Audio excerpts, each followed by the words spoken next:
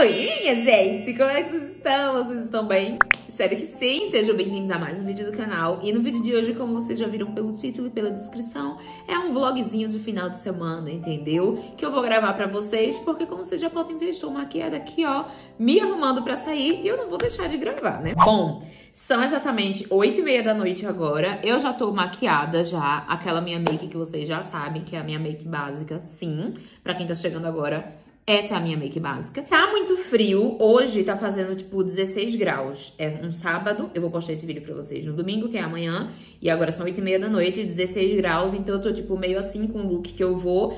E também não quero ficar meio desconfortável com o cabelo, porque tá aquele chove não chove, será que chuvisca? Então eu vou com o cabelo preso, eu vou de rabo de cavalo. E aí eu vou aproveitar que eu vou de rabo de cavalo e que eu vou fazer. E vou gravar aqui pra vocês, porque eu tenho percebido que alguns de vocês têm dito é, em momentos de vídeo vídeos que eu já tô pronta, tipo, Lid, ensina esse penteado. Lid, mostra pra gente esse penteado. Ai, como foi que você fez? E eu acabo que eu nunca mostro esse tipo de coisa por aqui. Eu já tentei no início do canal é gravar tutoriais de make, tutoriais de penteado e tudo mais, mas não engajava. Então, o que vocês querem mesmo de mim é vlog. Mas eu posso muito bem inserir é, coisas que eu faço no meu dia a dia, tipo o penteado. Eu posso tirar um tempinho e gravar pra vocês. A make, eu posso pegar um pedacinho e gravar pra vocês. Tipo, ah, hoje eu vou mostrar pra vocês a sobrancelha. Hoje eu vou mostrar pra vocês como que eu colo meu cílio postiço. Sei lá, como eu faço minha boca. Não sei. Coloquem sempre nos comentários esse feedback, porque é através deles que eu tenho um termômetro de saber o que é que eu devo incluir aqui nos vlogs ou não. Porque vlog vocês já sabem que vai ser, gente. É uma certeza.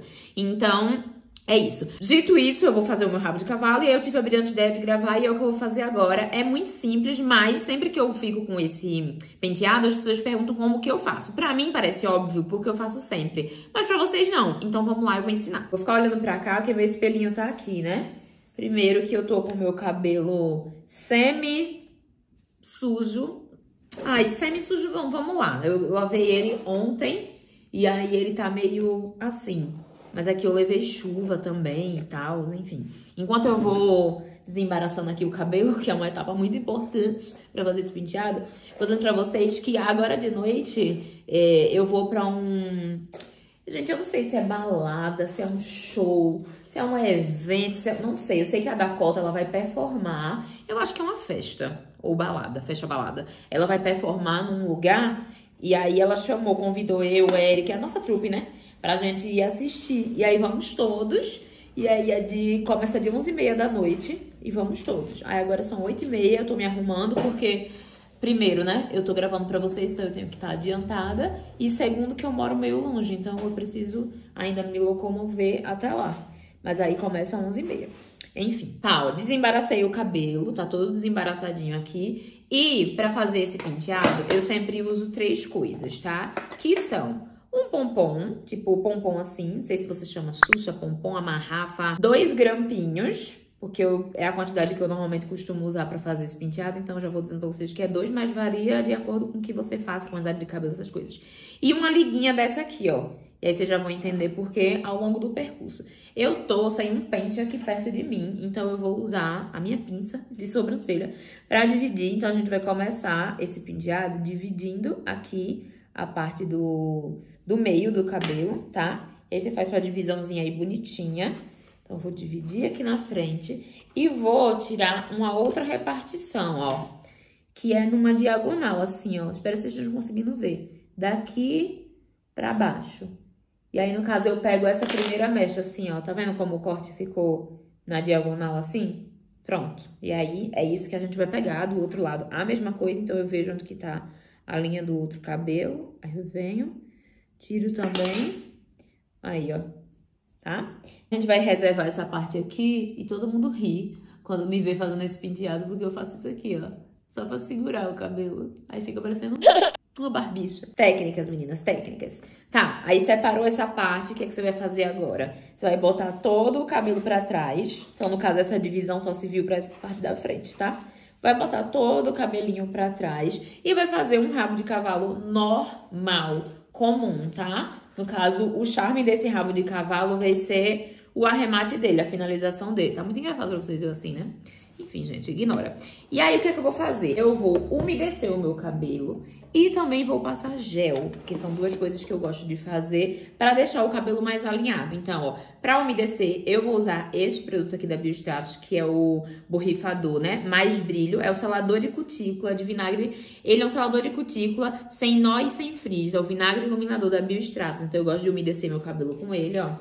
Eu umedeço meu cabelo e aí ele já vai tratando também, cuidando.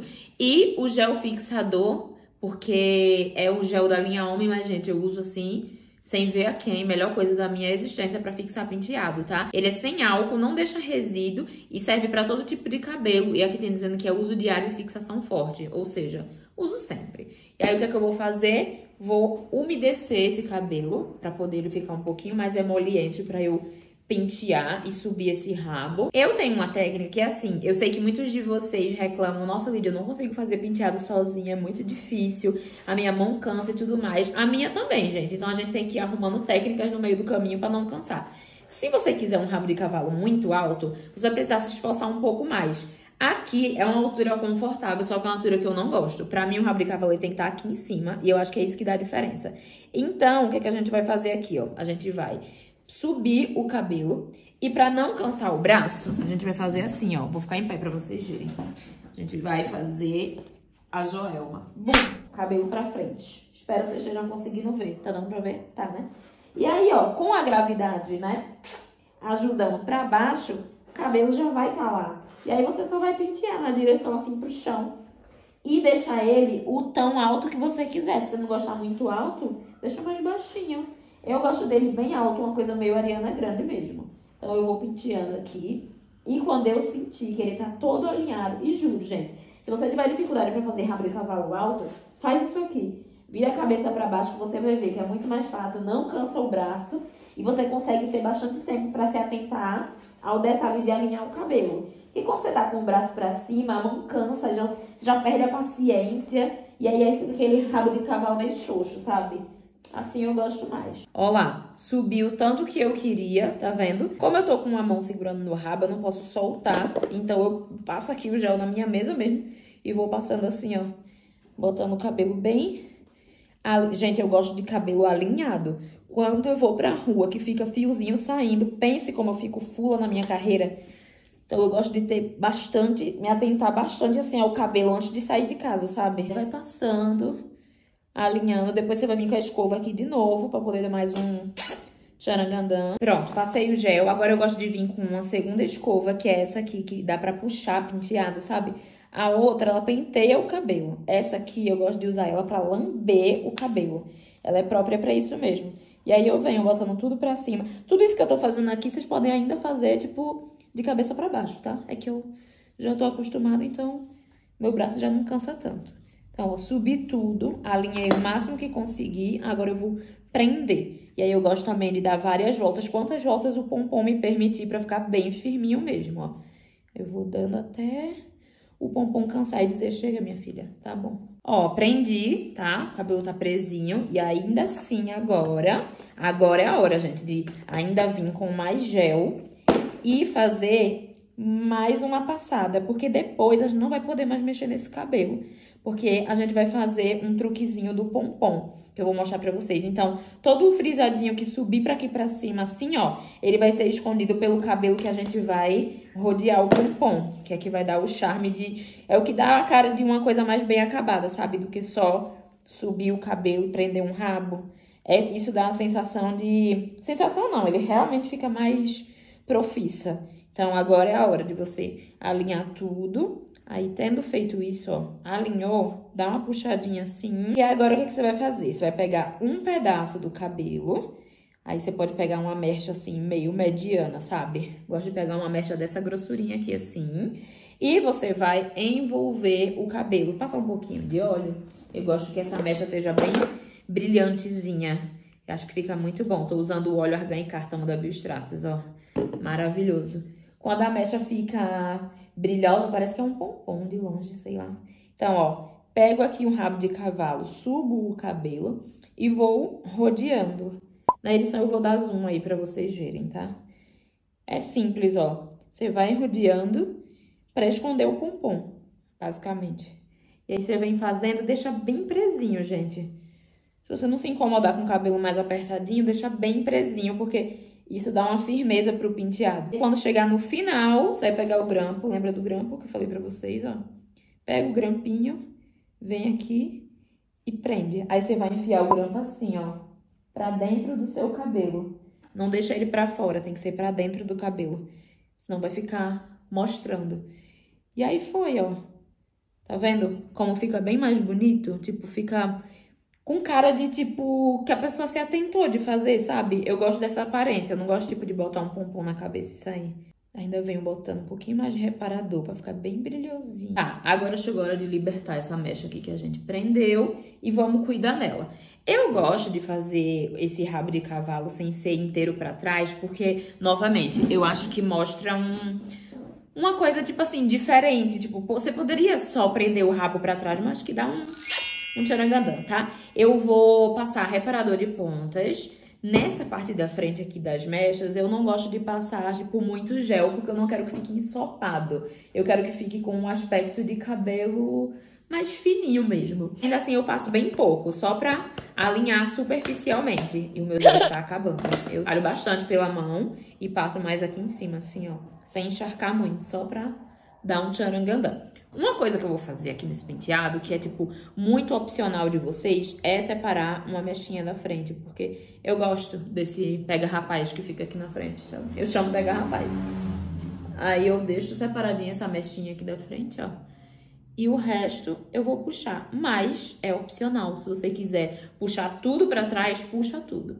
E aí agora é simples, pega a escova, aí você vai pentear pra trás essa mechinha assim, ó, segura. Pentei a outra mechinha também pra trás. Aí você vai segurar e bota isso por debaixo do rabo de cavalo. Aqui, ó. Tipo, o rabo de cavalo tá aqui, certo? Aí você vai botar aqui por baixo. Estão vendo? Aqui embaixo.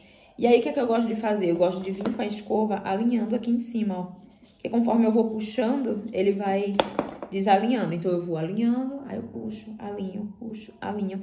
Gente, sinto muito se você quer... Ai, Lid, ensina a fazer penteado. E você quer fazer um negócio assim, tipo, rápido. Tem que estar tá no... É no detalhe, tá? Então, não achem que pra ficar bonito é fácil. Aí eu vou aqui, ó.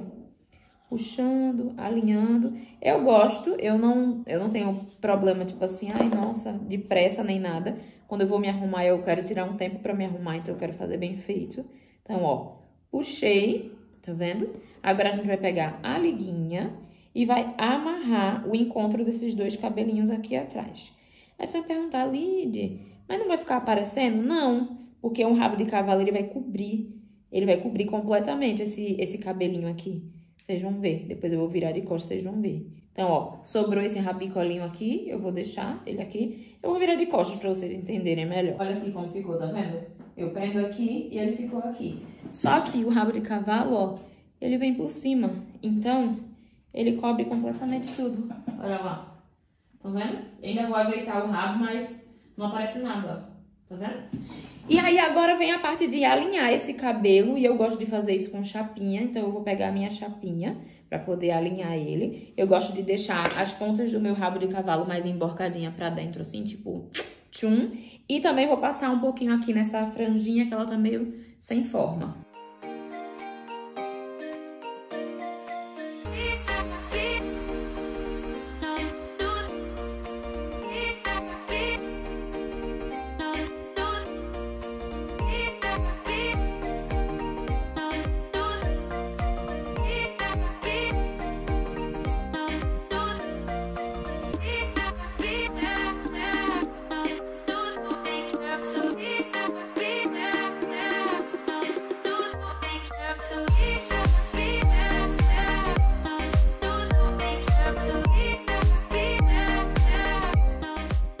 Pronto, gente, tá aí o resultado do penteado pra vocês. Tá vendo?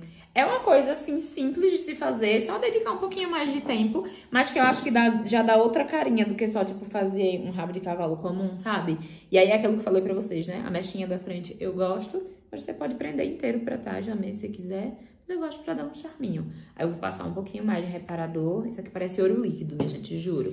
Inclusive, eu tô falando pra vocês dos produtos aqui da Biostratos e eu tenho um cupom de desconto no site e no app, tá? Eu vou deixar passando aqui na tela pra vocês verem e irem lá conferir, porque eu tô sempre indicando os produtos aqui e também lá nas outras redes. E sempre tem gente perguntando, e eu tô sempre falando, gente, sim, tem o um cupom de desconto, tá? Deixar aí pra vocês usarem e abusarem. Tem muitos produtos maravilhosos pra vocês ficarem com os cabelos assim, belésimos, saudáveis, bem cuidado. Penteado feito, agora eu vou botar a minha roupa e aí eu já encontro com vocês, acho que lá na casa do Eric, porque eu primeiro vou encontrar com os meninos lá, pra depois a gente ir, aí eu vou filmando pra vocês.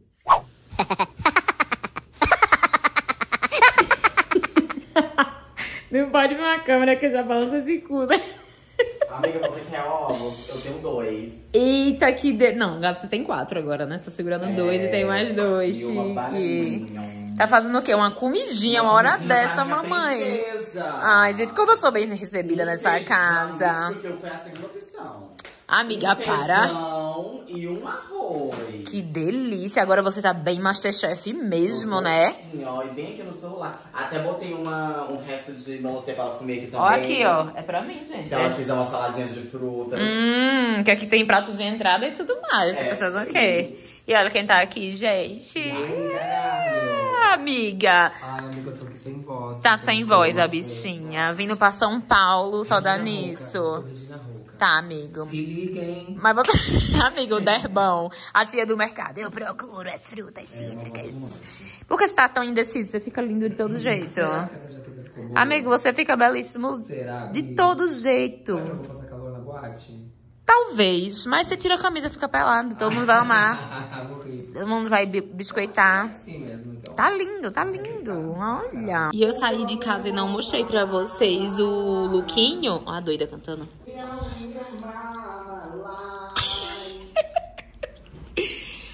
gente, ó, eu botei essa puffzinha prada que eu usei, lembra, na festa do, do Vitor? Só porque eu queria sair com uma coisa pra me esquentar no percurso, porque eu sei que lá dentro vai ser impossível ficar com isso aqui, é só pra, pra vir mesmo. E daí, por baixo, ó, deixa eu tirar aqui pra mostrar pra vocês. Aí eu vou ficar mesmo é assim, ó. Aí eu botei o turnozinho, né, que fica mais confortável. E aí... É... e aí, tudo pretinho, gente. Pra mim é mais fácil, eu me sinto mais arrumadinha. Eu sei que vocês gostam de me ver de colorido, mas é mais fácil pra mim preto, que eu boto e pronto, sabe? Aí coloquei uns cintozinhos. Não é, Bi? É sobre. Olha lá, menina, a comidinha antes da balada. É, tá pensando o quê? Comendo feijão, arroz e ovo. É sobre. Pra ir alimentada pra boate. Pra ir alimentada, que na balada não vai ter arroz. Quer dizer, pode ser que tenha, porque a gente foi pra. Qual foi aquela lá que a gente foi que tu comeu arroz e feijão? Na boate. Foi na túnel. Na túnel. Ah, a gente foi pra túnel. Aí lá e bateu um pratão, três horas da madruga. E eu fiquei passada que vendia. Frango, arroz, feijão. Uma eternidade depois. Deus, dai-me coragem, Senhor, pois estou sem, olha. A animação de centavos. Com animação, Brasil. Cansada, mas chegamos, gente, chegamos.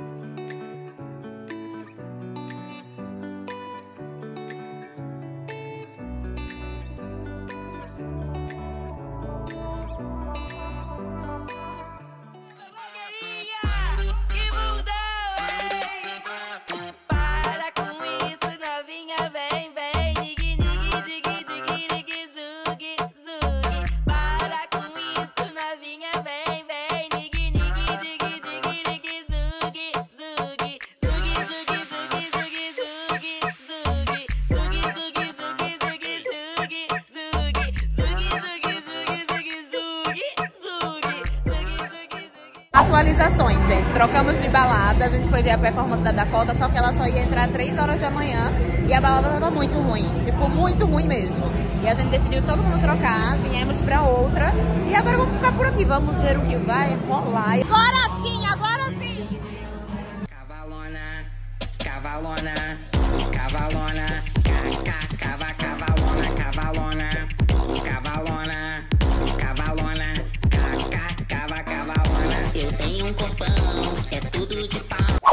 Dia, mas que alegria. Gente, já se passaram horas depois que eu gravei o último take aí pra vocês.